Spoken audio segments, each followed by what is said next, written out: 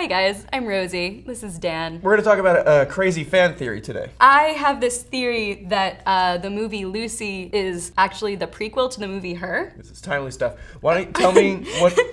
describe to me the plot of the movie Lucy. Ugh. what a question. what a loaded question. So Lucy is uh, Scarlett Johansson is kidnapped by these drug lords Mm-hmm. and they cut her open and make her a drug mule. Basically every girl's worst nightmare. Sure. Uh, and they Every put woman's worst nightmare, Rosie. Thank you. So they put this like new age future weirdo drug in her stomach, and then she gets stabbed in the stomach by someone else. Just like a series of unfortunate Di- events. Someone on a different agenda. Someone on a, on a whole new agenda just stabs her in the stomach. And then some of the drugs get released into her system. All of them, and it's supposed to be she's transporting it, and then it's sold in like tiny quantities. But she just becomes those drugs. It's also a trailer where Morgan Freeman does the average person uses only yeah, percent of their brain, but if you have access to 100%, oh my god. And this drug allows her to access 100% allegedly. Mm-hmm. Slowly we, over we the see course of over the the course of movie. the movie. Yeah. And she uses it to like freeze time and change her hair color and eye color. Right, what and- we'd all and- do with and, that like, power. And so as she goes throughout the movie, she just gets more and more robotic and mm-hmm. less human, and she doesn't have like these human feelings and just kind of functions like this omnipotent god. There's a love interest that is completely unearned in the film. It's just a cop who is like, Also, she can't love. I know, there's a cop who has watched her like float mobsters into the ceiling and explode people. He just seemed really afraid. Yeah. And like, please don't kiss me. Oh God, right, right. I'm yours like, now. She's like, okay. I do need you. I need you for this. And he kisses him, and he's like, all right, so. Yeah, he's like really happy that it ended without them being together forever. Right, she ends up time traveling Yeah, and yeah. then becoming the internet. Like she turns into this black goo and disappears Mm-hmm. for a while, and we see her like hanging out with dinosaurs and hanging out with She- Lucy, the first cave woman. What is that? What that was? I think so. Hmm. But she Um, travels through time, and then everyone converges on the spot where she was supposed to be, and she's gone now. Because she reaches 100. Right. 100% intelligence is the internet. Right, Yeah. detective boyfriend is like, "Where are you?" And then someone takes like a phone or a fax machine, and it's like, "I'm everywhere." Right, she just- becomes the black goop that becomes electronics. Yeah. Yeah. Yeah. Yeah, yeah, yeah. Which kind of leads us to her. Swirling black goo internet that loves you. So your theory is now that after she became the internet and was in all things, she dicked around for a while until the future happened, and then became like a dating thing. So she starts out real sweet with Mm-hmm. Joaquin Phoenix. Uh, but so in, in my theory, she's waiting for technology to get to this stage where there's other people like her, and then she can like woo them all as if she's a normal one of them, but then takes them all away so that they can go leave this super life. I don't know. I mean, I think it bears fruit. I think It does.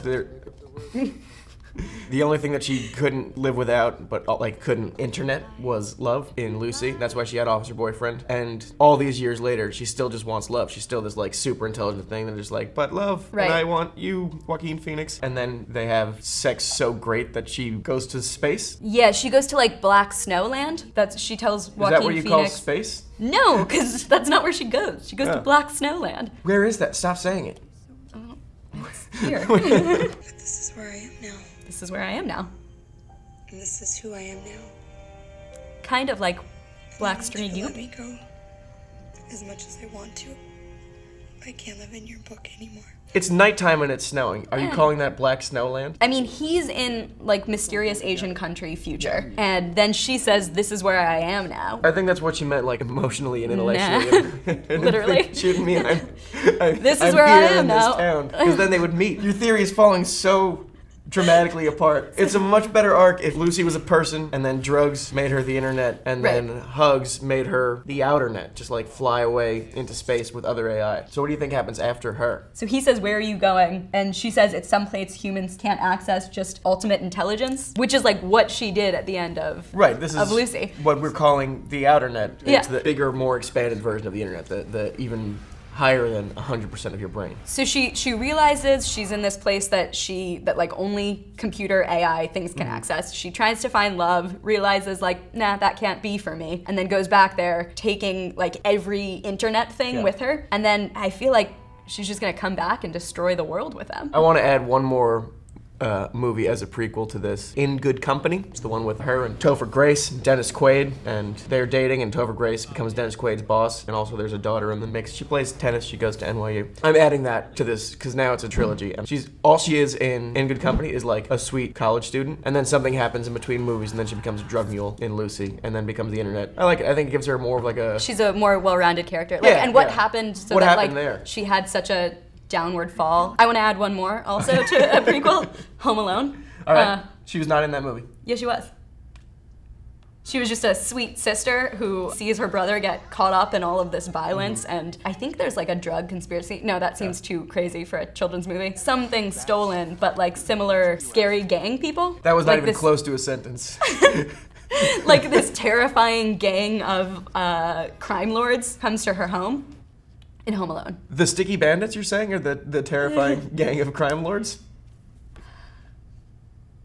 She's in Home Alone 4.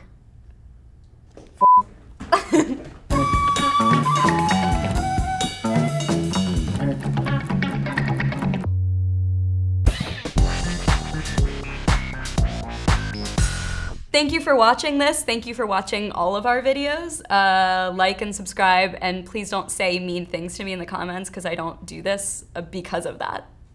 Look at her. Her hair's so nice. She changed her hair. It's great. It's new. Mm-hmm. See how easy that f***ing was?